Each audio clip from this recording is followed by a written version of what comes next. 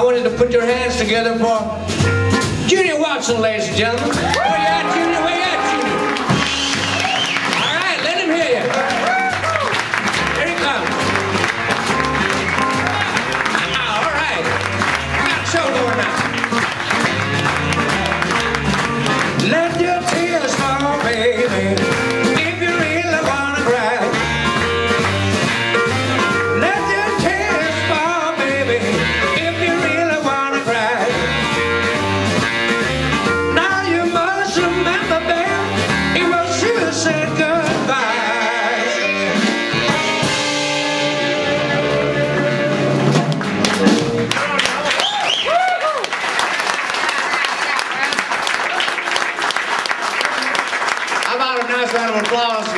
Scott Gregg and his wonderful band.